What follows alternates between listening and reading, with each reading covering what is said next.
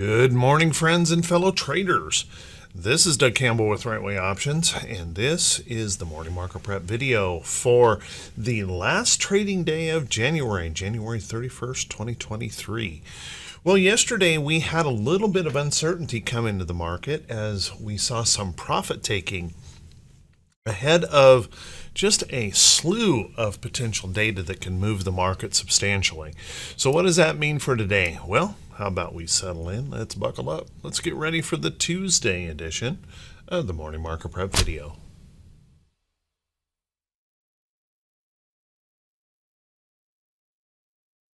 Good morning once again, everyone, and thanks so much for being here. I do truly appreciate it. Let's take a peek at these charts and see if we can gain some information about how we may want to approach the market for today.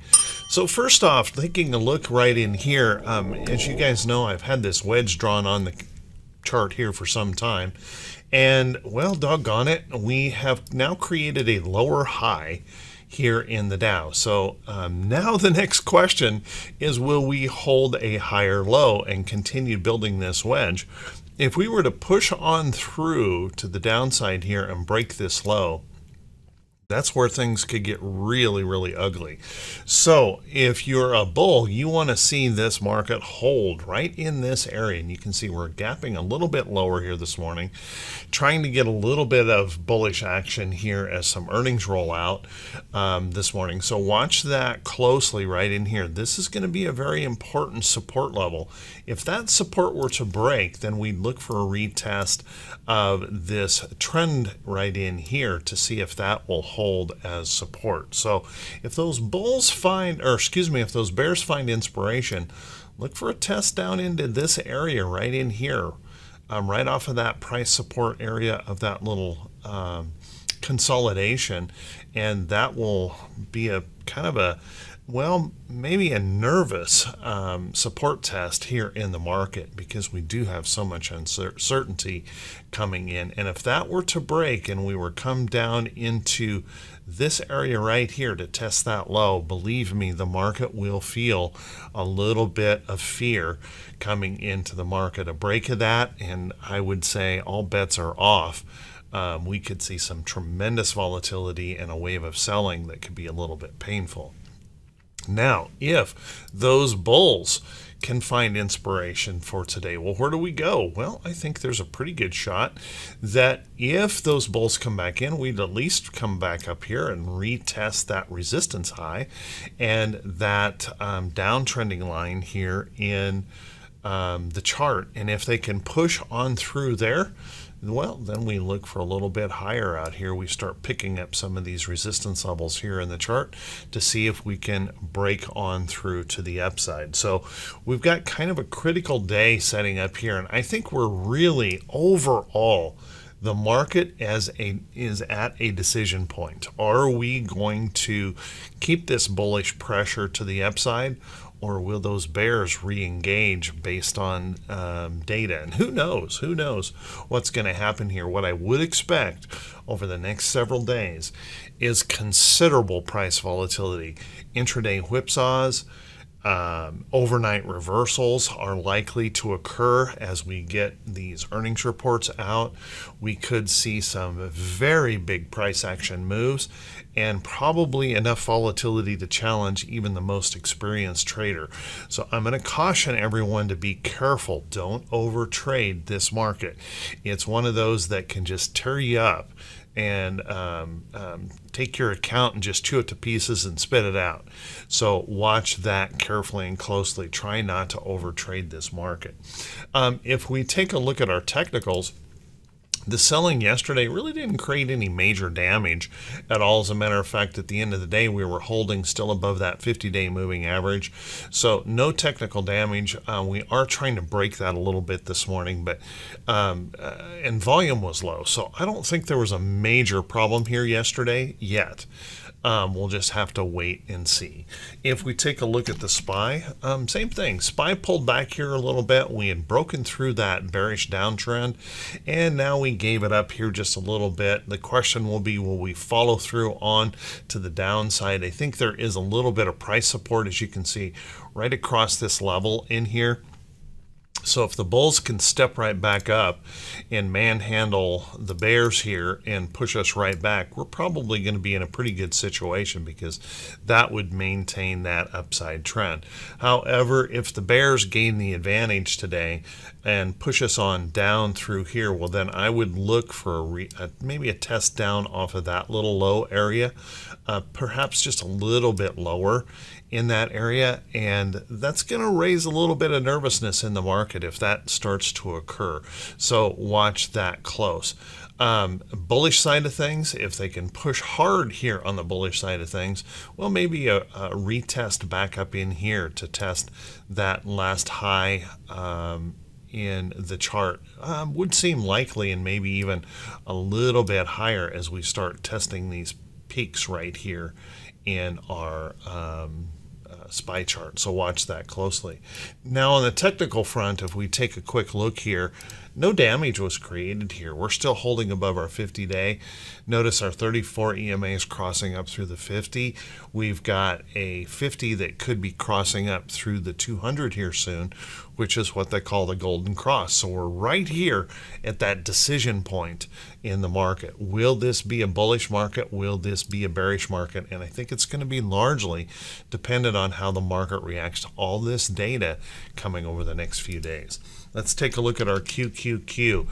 Also, just a little bit of uncertainty there on QQQ, but not nearly as rough as we saw in um, the diamonds or the or the SPY. As you can see, we are still holding above this downtrend break here in the chart. So if the bulls can use that downtrend break as a little bit of support and bounce off of that, maintaining this trend, I think we're in pretty good shape if we see those bears push back down, well, that could be a little bit of a concern uh, for the market if they push back down through that. There would be some price support right in here and perhaps a little bit lower. But if we drop into there, you could see the market become a little bit nervous. So watch that close. And if those bulls can hold this area in here and find that inspiration, well, let's look for a retest of some of these points here in the chart. See if we can come up into there or even all the way back up to there. So look for some big price moves here as we um, try and decide how we're going to react to all of the data coming our way in the next few days. Uh, technically speaking, we're still in pretty good shape here on um, uh, the QQQ. We tested that 200 day. Now we're pulling back a little bit. I will say of the indexes right now, the QQQ is the most overextended in the short term and probably runs maybe the higher risk of additional selling coming in if those bears find any inspiration at all. So watch that close. And if we take a look at our IWM, well, the old Russell broke up here, tested these resistance highs in the chart as you can see, and we've backed away from it. So this is a big level, and you can see all of these points right through here. Um, it's a big level, and we're going to need something, um, some kind of inspiration to really push us up through there. Now, the good news is the bulls continue to maintain this trend, but you can see this morning we are right at that decision point. Are we going to hold this, or will we slip back below that um, little trend here in um, the IWM. So looking at this, you can see a rally back up. Well, first thing we're going to have to do is we're going to have to deal with these little resistance highs in here on any rally back up to see if we can punch on through those. If the bulls can punch on through those, then a retest up here would seem likely. And then above that, well, your guess is as good as mine, but I think there's some pretty good levels in here to still provide some, some substantial resistance to the IWM chart. Now, IWM continues to show that bullish uh, uh, move above the bear trend here. We're holding in there good. And for now, there doesn't seem to be any major fear here that IWM would sink hard. Now, that does make me a little bit nervous because when we don't have fear in the market, when when we're overconfident let me say it that way when we're overconfident that everything is going to be great heading into so many data points then if we get disappointed, we can move quickly to the downside. So watch that closely. If we were to um, run into some trouble, you can see there is a little teeny tiny bit of price support on that low right here. But the next substantial level of price support would be here. That would be a big point move. So we're going to have to be pretty careful and be on our toes here um, in this market. Looking at our technicals here, you can see that would be that test of the 50-day moving average. And we also know that that's not uncommon for price action to retest levels like that. So if those bears find inspiration, we could see that quick trip lower. So watch that close. Let's take a look at our VIX. Now, our VIX, for the first day in several days, we had a little bit of fear showing up in the market yesterday, but it wasn't enough to really concern me. As you can see here in the chart, we're still maintaining that downtrend. So when it comes to the VIX, the bulls are still in control. Now, if that continues to move up, let's watch some resistance levels here in that chart. If we were to push on through there, that could be a little bit of concern and breaking through that downtrend. But I don't think we're probably going to have any major problem here in the VIX until we see a breakthrough up here, break that resistance, and then prove to hold it. Um, so watch that closely. And, and, certainly we have the data this week that could do that if um, those if that if that uncertainty really picks up here in the market. Now, keeping in mind that across this level in here, if those um, bulls continue to find that inspiration and continue to push, well, maybe we're going to break some of these levels and move down in here. Now, one thing that you have to keep in mind that once we start breaking down into these lower levels, bit of complacency may be working into the market. So that can mean some big point moves if we happen to stumble. Let's take a look at our T2122. Our T2122 indicator relieved some pressure yesterday. So that was a nice thing to see. We've been overbought, overbought, overbought, overbought. And that has relieved some of that pressure. So as we run into these data points coming in here, you'll notice that we have opened up some upside opportunity if we can find that bullish inspiration. However, we also want to recognize the fact that if we find the bearish inspiration in here, that we could still relieve more of that pressure, uh, that, that bullish pressure in here with some selling or profit taking pushing us back down toward that bearish reversal zone here in the chart. So, or excuse me, bullish reversal zone in the chart. So watch that closely. We've been a little extended, and um, we may have a little bit of bear payback coming if they find some inspiration. If we look at our uh, T2108, T2108 also had a little bit of relief yesterday, but not so much relief. Whoops but not so much, um, you can see there, a little hook over, and not so much relief as it really broke anything down. So we still are maintaining a very elevated position here in T2108. And I continue to point out that we can do that for a little while, but you'll notice it's a rare occurrence when we're up this high and continue to push. So if those bears find any, um, any reason for pushing back, we could see a pretty substantial pullback in the market if that were to occur. So watch carefully in case that were to happen. If we look at our uh, T2107, T2107 also hooked over just a little bit, relieving some of that uh, buying pressure, but also we want to take a look and just notice that we are also reaching some very extended positions here in the chart when we've got, um, well, 57, almost 58% of the stocks holding above their 200 day moving averages. So we're a little bit on that extended side. Let's take a look at our T2101.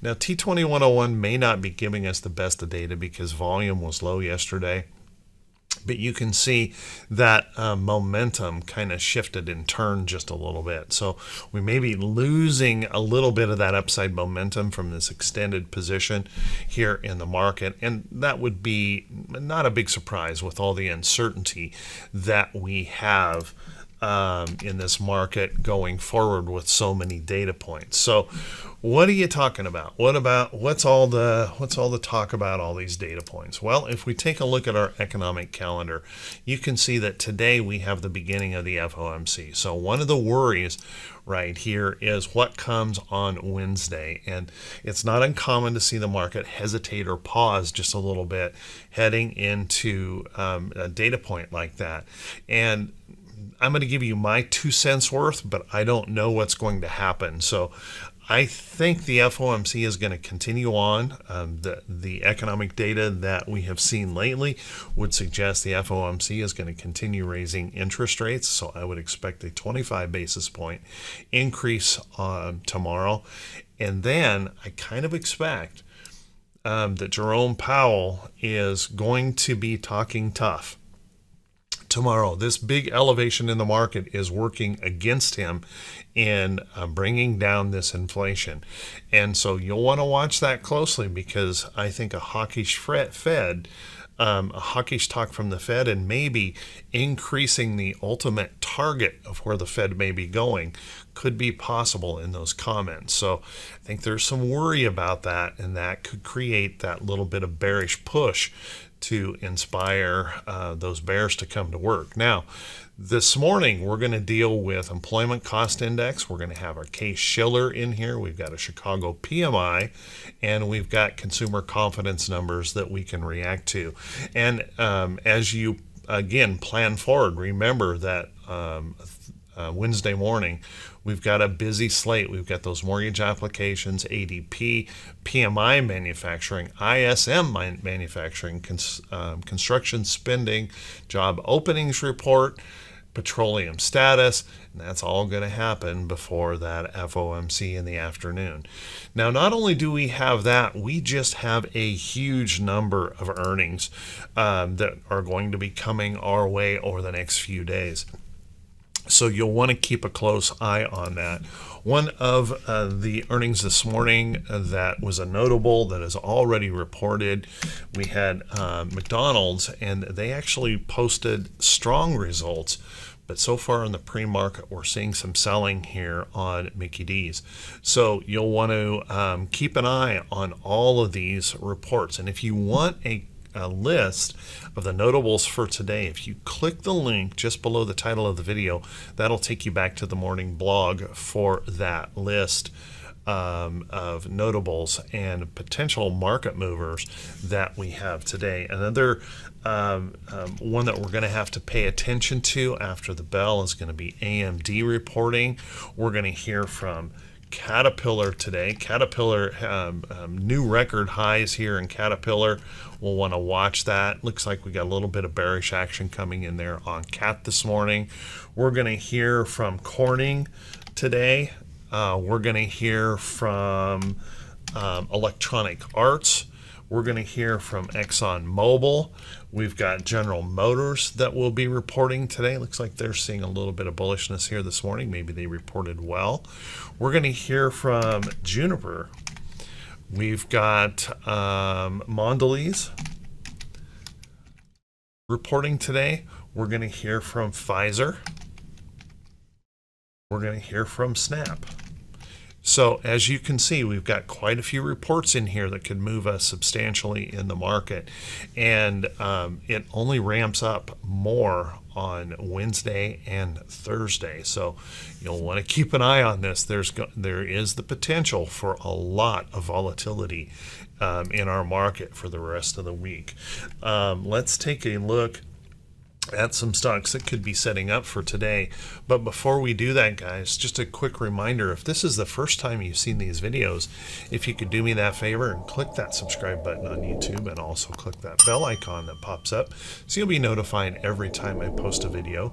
And if you find these videos to be useful or helpful, if you could please also do me that favor and click that thumbs up button, leave a brief comment that helps the channel to continue to grow. So thank you so much for everyone who does do that. Big shout out to those folks folks who share these videos on their social media feed, and also for those folks um, who have supported the channel through the Buy Me a Coffee link. You guys are truly awesome. Thank you so much for your kind support to this channel. Let's take a look at some of these stocks that could be setting up. Um, and remember, guys, these are not recommendations to buy or sell any security. As a matter of fact, you're going to have to do your own due diligence and be very careful. This is not going to be a market for the faint of heart. This is going to be a market over this week. You're going to have to have some um, major confidence to trade because we could see some big intraday whipsaws, and I would not rule out the possibility of some, some some substantial overnight reversals that could occur. So make sure you have a plan to deal with some of this wild price action that we're seeing in the market. Now, let's take a look. Um, you guys know I have mentioned uh, this stock Generac um, a few times, and there's Generac. Nice little price pattern breaking up out of this downtrend here in the charts, what we call a rounded bottom breakout pattern. And as you can see, we've got all of our moving averages starting to round up, prices rounded up through that um, 50 day.